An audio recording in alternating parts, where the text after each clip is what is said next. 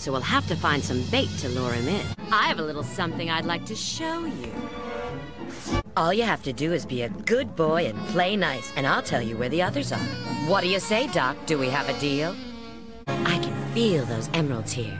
All I have to do is break into the vault and help myself. Ah, cracking the code'll be a cinch.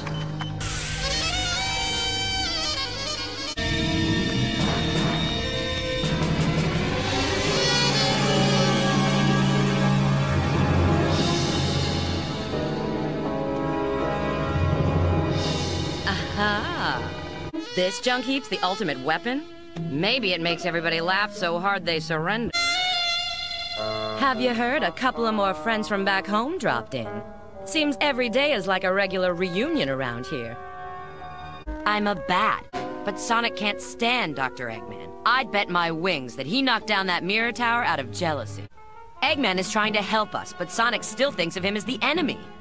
He resents that we're working with Eggman.